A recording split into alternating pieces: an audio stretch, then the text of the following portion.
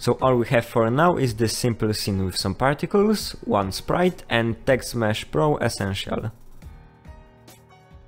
Let's start with creating a new text. Change the font of it. Set alignment to center. And change the position. Now let's make it a little bigger and if your text gets broken like this, change the width of the game object to the bigger value.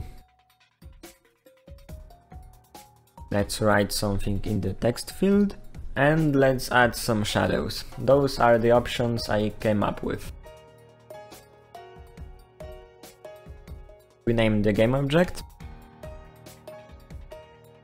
Now let's create a new image in our canvas. I would like to have it on the left. And put our sprite there. Scale it down so it fits the size of the text. It's important to have your sprite in white and grey only, because now you can change the color of it as you want to. Simply duplicate your game object and put it as a child object. Now go to the parent object, make it a little darker. And in the child object, make it a little smaller. Go to the scene view. Double click on the object to move the camera closer. And move the child object to the top right corner. Okay, now let's make a new image to show the player what button they need to press. To do this, duplicate your toggle, rename it to button, and move it below the text. Now we need to make it wider. As you can see the border of the image is broken now. To fix this we need to click on our sprite and open sprite editor. Now we need to move those green lines so they fit the borders of our box. And pay attention to the corners. When you are done, hit apply. Now select both button parent and child using control button and change image type to sliced. I think that looks good enough. Let's add a new text for our button. Let's duplicate our text that we made in the first place and make it a child of a button. Rename it. Change the position and the font size so it fits the button. Actually, let's change the button size. Set the same color for the text and the toggle child and make the toggle parent darker. Actually, the text looks boring as it is. Let's add a gradient. Set the same color for every corner and make one of them lighter or darker, depending on what do you think looks better. Of course, nothing happens when you hit space. That's why it's a good idea to add an animator there. Create a new image in our canvas remove image component, and make every object we've created so far a child of it. Now let's change the name of the image and add a animator. Let's create a new animator controller and put it inside our animator. Now we've selected animated toggle, let's move to the animation tab. If you don't have this tab, you can find it under window, animation. Let's create a new animation. Let's call it idle and make the text bounce a little bit. Before you do this, please change the toggle's pivot to 0 hit the red button and start creating some keyframes.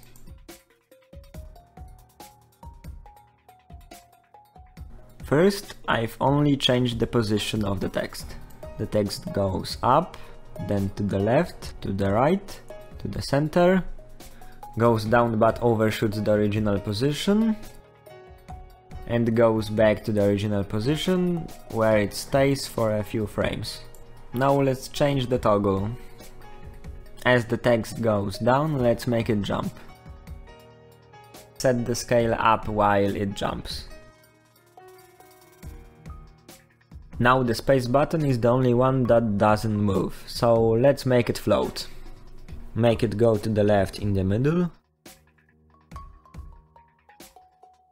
And to the center at the end. Now let's create the animation for activating the toggle. Select everything from the current animation, copy that, create a new clip, name it activation, paste, and let's make a few changes. When the text goes up, let's change its color to green. And as we did before, one corner will be lighter or darker. Do the same with the toggle in the same place.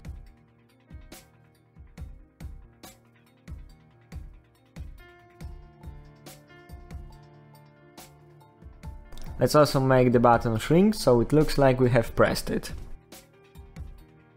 To make the toggle more alive, we will need to change its pivot to 0.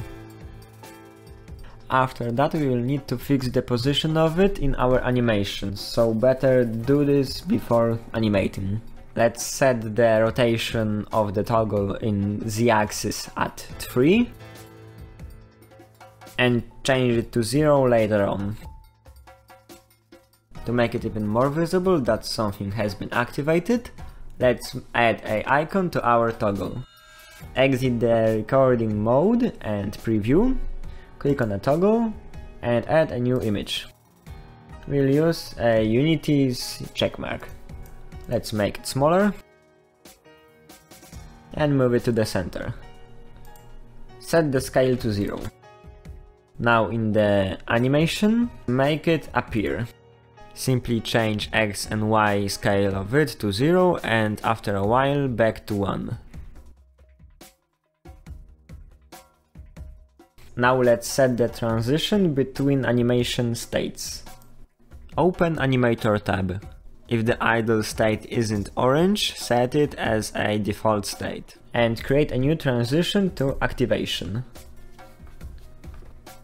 Click on a plus icon and create a new bool.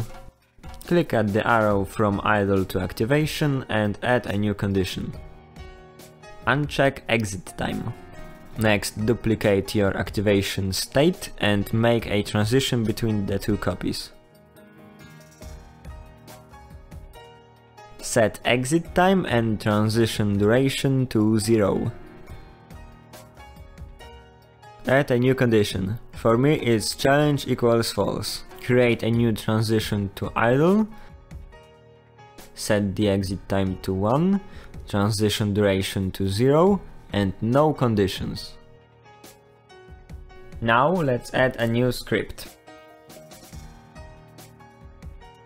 There is a container for our animator and the name of animator boolean. All it does is waiting for space being pressed down and when it happens it reads our state from the animator. Then reverts our bool in the animator.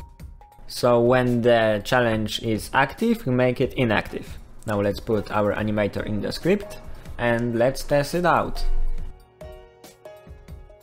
As you can see idle animation is looping and when we press the space button we see our second animation, but it loops. To fix this, go to your animations, click on your second animation and disable loop time.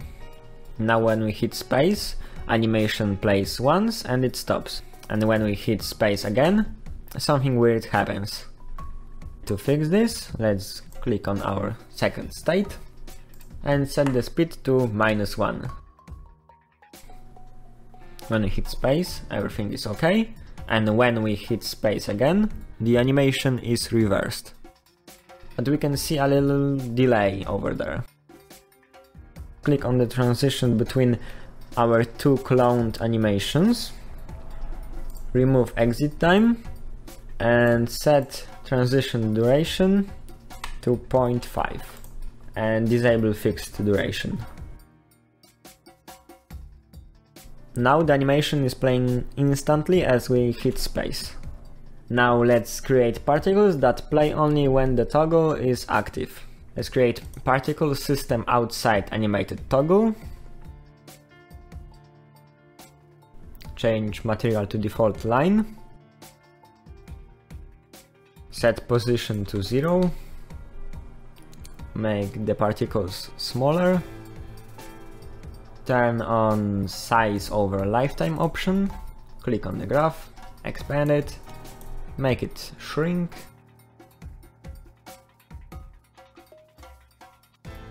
Decrease lifetime and change the emission of particles. Change the shape from cone to rectangle. Change the scale of it to fit the text and set the color to green. Disable emission and make those particles a child object of animated toggle. Enable emission in the animation. After some polishing, the toggle looks like this. If you want to make the toggle more alive, add a few sounds. For example, add two audio clips. When you press space, play audio and use your current state. In the new function we guess that toggle is active, but if it's not, we change the audio clip to inactive audio. Then we play our clip at the listener position. We use this position to prevent Unity from turning our volume down. Thanks for watching and please let me know if you liked or disliked this video.